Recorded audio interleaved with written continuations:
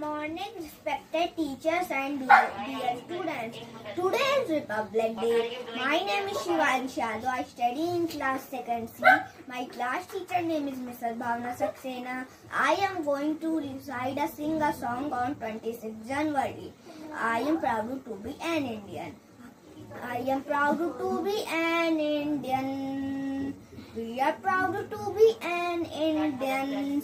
It's a wonderful country.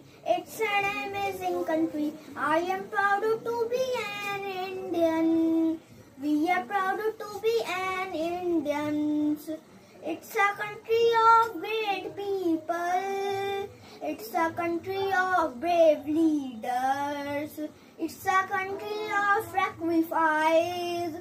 It's a country of celebrity. It's a wonderful country. It's an amazing country. I am proud to be an Indian. We are proud to be an Indian. It's a country of powerful army. It's a country of strong soldiers. It's a country of unity. It's a country of diversity.